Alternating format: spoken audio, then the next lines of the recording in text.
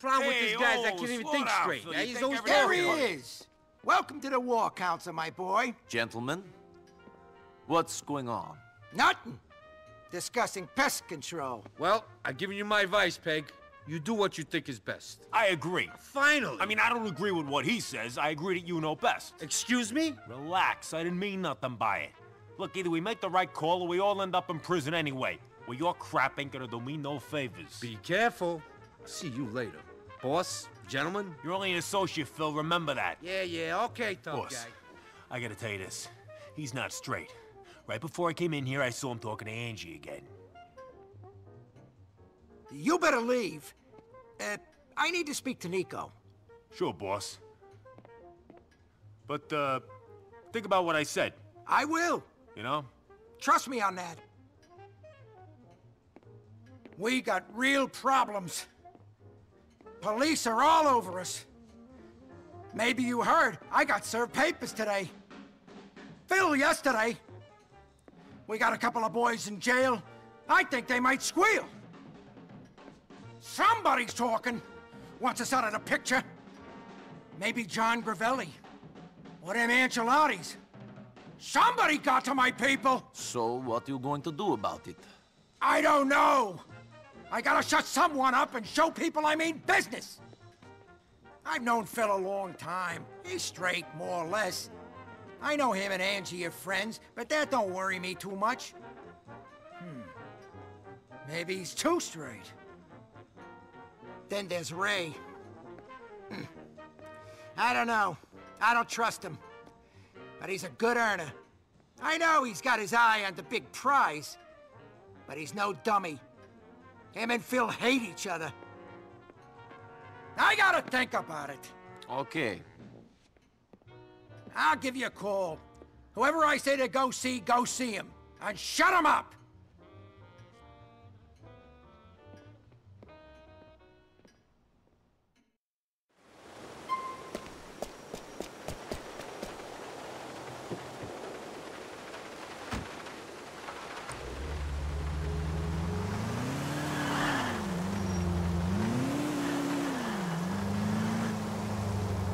your time. Don't worry about us working, people.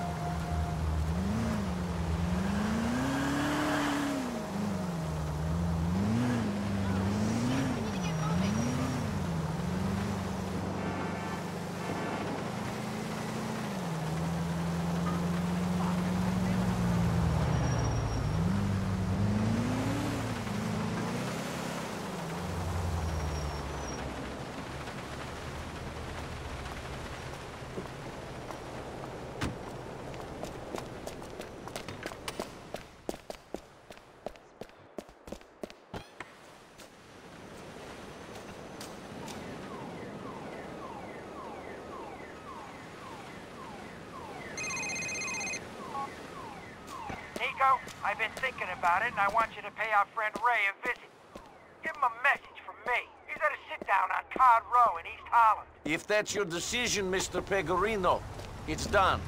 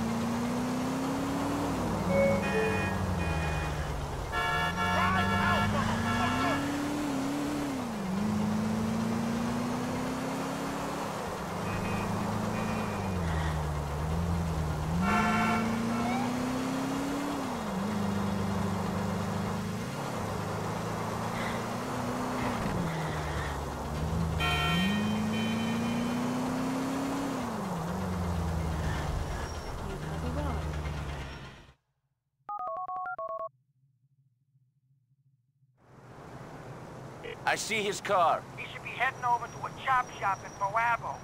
Don't get too comfortable with him, Nico. Like every rat, he's a survivor. He's got good instincts. He has a bad feeling about you in particular. He bought some protection and he ain't gonna hang around and wait for you know what to happen. Then again, I'll get a chump muscle to stop for gas on the way. It might create a good opportunity for you.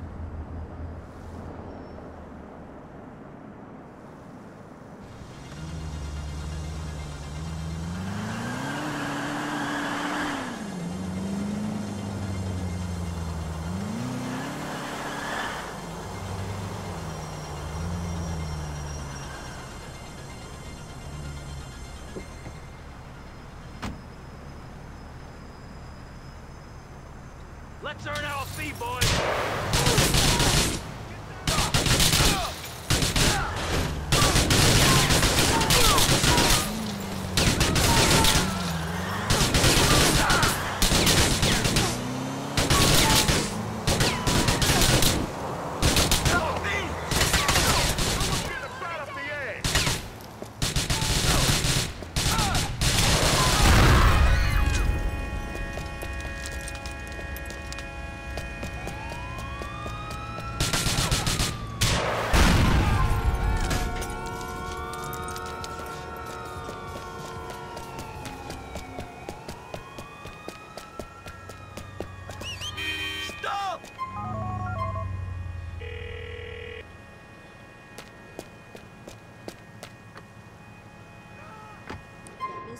Where you want to go?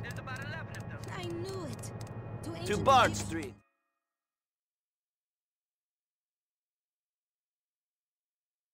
of the gods. Okay, here we are, bucko. No, I don't quite understand. I really have never been to Egypt or Greece.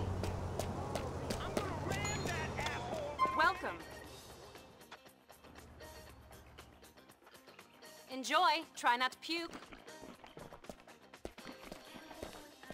Thanks for helping us make food fast.